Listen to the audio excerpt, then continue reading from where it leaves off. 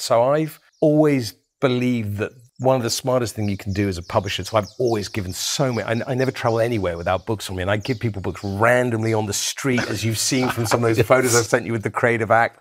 And when you give someone something like that in that way, with sincerity, with no expectation of yes. anything in return, it does something beautiful between the interaction between two humans, and and then the the thing that you've given is is invested with something that it didn't have prior to being given in that way.